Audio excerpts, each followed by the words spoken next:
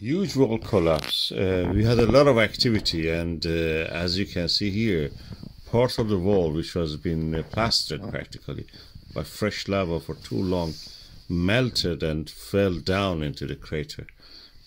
A small part first, then the second part, which looked like the outline of a mammoth or an elephant.